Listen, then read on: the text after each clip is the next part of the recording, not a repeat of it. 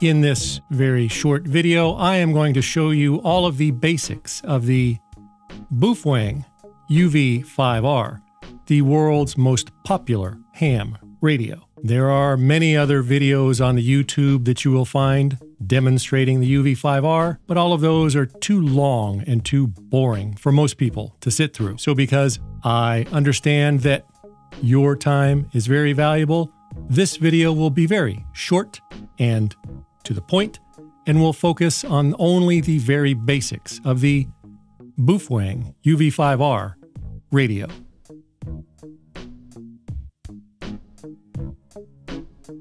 This is the Baofeng UV5R up close and personal. On the top, you will find the on, off, and volume knob, the flashlight, and the removable and replaceable antenna. On this side, you will find the call button. One press on the call button switches the radio to commercial FM radio mode, and press it one more time to switch back. Press and hold the call button for a totally useless and annoying alarm. Press it again to make it stop. Below the call button, you will find the push to talk button. That is the button that you press when you want to transmit on the radio. You will find the monitor button. A quick press of the monitor button will activate the flashlight. Press it again to change it to flashy flashy mode. Press it again to turn the flashlight off. And if you hold the monitor button down, it will put the radio in monitor mode, which disables the squelch and lets you hear everything, including the static. On the other side of the radio, behind this hidden door, you'll find a plug for a programming cable so that you can strap your radio up to a computer for programming or you can plug in an external microphone or other accessories. On the front of the Baofeng UV5R, also known as the face of the radio, you will find the display, you will find the speaker, you will find the microphone hole, which is discreetly hidden right there. The microphone is behind that tiny little hole there. This big hole is for the speaker. Noise goes in there, noise comes out here. You will find the transmit and receive LED. When the radio is transmitting, this little LED turns red, and when the radio is receiving a signal, which we can simulate by pressing the previously mentioned monitor button, the LED will turn green. And you will find an assortment of buttons. Upon close examination of the screen, you will find many various letters and icons across the top. Each one of those letters and icons has a very special meaning, and those special meanings are all very clearly explained in the UV5R user manual, which, since you are watching this video, I assume you have already thrown into the trash. You will also notice on the screen two lines. There are two lines because the Baofeng UV5R can listen to two frequencies or two channels at the same time. You can disable this option in the menu to hear only one channel at a time, but no matter what, you will always see two frequencies or two channels listed on the display. Upon closer inspection, you will notice a little triangle or cursor on one of the two channels. That little cursor indicates the selected channel. That means if you were to press the push to talk button, the active channel or frequency is what the radio would be transmitting on. So if I were to press the push to talk button now, it would transmit on the upper channel or upper frequency. To switch from the upper channel to the lower channel, simply press the A B button. Lower channel, upper channel. A B. The band button is used to quickly switch you from UHF mode to VHF mode. That means the higher and lower frequencies, but you could also just type in a higher or lower frequency directly. Pressing the menu button will take you into the menu screen. There are 40 menu items. Each item has its own number. You'll see this is menu item 0 flashing. This is menu item 1. And this is menu item 2. The Baofeng UV5R has 40 menu items. Some are self explanatory, most are not. To figure out what each menu item does, you can either read the user manual, or if you already threw that away, you can watch my video that goes over every single menu item and explains what each one does. I will put a link to that video in the information section below. The menus are very simple to use once you understand how they work. To get into the menus, simply press the menu button. You can then scroll up and down through the different menu options using the up and down arrows. Or you can go directly to a menu item number. Remember, each menu has its own number. If you know the menu item that you want, you can type it in directly, for example. The very important Roger Beep menu item is menu item number 39. If you're staring at the menus too long, it will time out and go back to the screen without saving or changing anything, as you just witnessed. So to get back, I simply hit menu again, and it goes right back to where I was. Once you get to the menu option that you wish to change, you simply press menu again, and you will see that the little cursor moved down to the lower line, indicating that I can now edit that option by using the up and down arrows to scroll through the options available for that menu item. For the Roger Beep, the available menu options are turn it on or turn it off. Of course, we want the Roger Beep to be on, so I select that option and I hit menu again, and the sexy voiced Baofeng lady tells me that that change is now confirmed. I then wait for a few more seconds and it returns back to the main screen, or if I didn't want to wait, I could just press exit. If I have the Roger Beep enabled and some sad ham yells at me and tells me to turn it off, I simply go back into the menu items by pressing menu,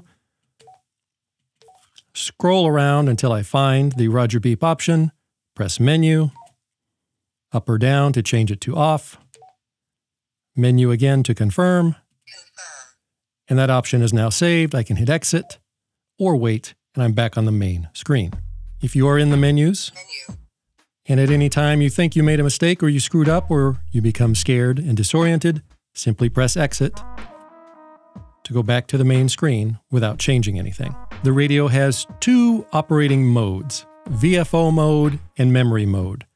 VFO is for typing frequencies directly into the radio, and channel mode is for switching between saved channels. To switch between the two modes, you use the VFO slash memory button. And when you do that, the sexy voiced Baofeng lady will tell you what mode you're in.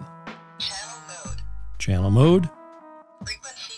Frequency mode. You can also tell if you are in channel mode or frequency mode by looking in this area here.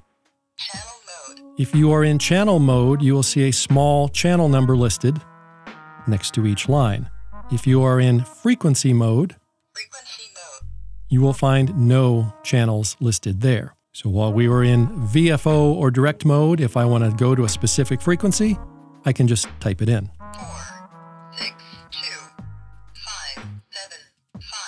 So the radio is now listening to that frequency on both lines. If I want to go to change the lower line to a different frequency, I use the AB button.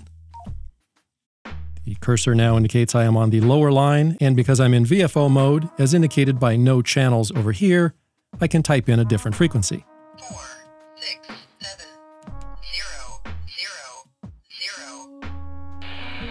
The radio is now listening to 462.575 and 467.000. If I want to go to channel mode and switch to a pre-saved channel that I have saved on the radio, I hit the channel VFO button. Channel mode.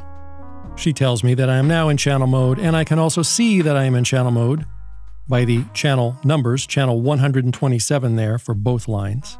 And I can scroll through the channels for the selected or active line, remember, Little cursor there tells me that I'm on line B right now. If I don't like line B, I can switch back to line A, and by using the up and down arrows, Zero. I can switch between channels. One, two, seven, And right now, this radio has only two channels saved channel 127 zero, and channel 0. If I know what channel I want to go to directly, instead of scrolling through with the arrow keys, I could just type it in directly. one, two, seven, As long as I'm in channel mode, if I'm in VFO mode mode, and I try to type in a channel, one, two, seven, it's going to interpret that as a frequency, zero, zero, cancel, which is not the same as a channel. To save a new channel, it is very easy. To save a channel, simply start in VFO mode, channel also known as frequency mode, and enter the frequency that you wish to save. four, six, two, seven, zero, zero, I have now entered 462.700 megahertz. On the screen, the radio is now listening to 462 700 megahertz.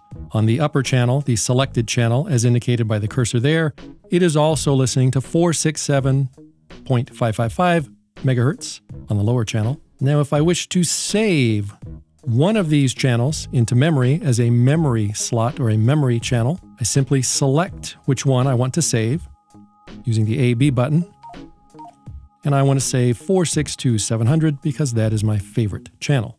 So while that frequency is selected and while in frequency mode, as indicated by the lack of any channel numbers over here, and because she just told me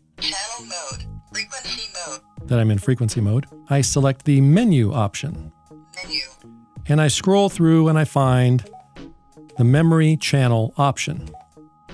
Which, because I have actually read the user manual, I know that the memory channel option is 27. So now that I'm on menu option 27, I can hit menu again to select the option and then edit it by scrolling through the available options. And as I scroll through, it will tell me all of the channels that are available that I can save this frequency on as a channel. As you may recall from earlier, I mentioned that channel number zero was already in use and already saved on this radio. And you can see that when I look at channel zero, there's a CH in front of it. That means that channel zero is already taken or in use. If I go to channel one, there is no CH, and that means it's available to save. So I select the channel that I want to save this as, and I've chosen to save this frequency in channel 6. So I hit menu again, and she has confirmed that I saved that as the receiving memory, and it now has a CH in front of the channel, indicating that it is in use. So I can see now by going through the options that channel 6 is in use, and channel 0 is in use. After hitting exit, I'm now back at the main screen, and it's still showing 462700, but no channel number there, and that is because I am still in direct or frequency mode. So I can switch to channel mode by pressing the VFO MR button. channel mode, I'm now in channel mode, and as you can see here, as indicated by the number six, this is my new saved channel. So I now have channel zero, which was previously there, channel six, one, two, seven, and channel 127. If I want to quickly go to channel six, I can hit, zero, zero, six, and I'm now on channel six. You can also give the channel a custom name that makes sense using letters, but you can only do that on a computer using the Chirp software connected to the radio.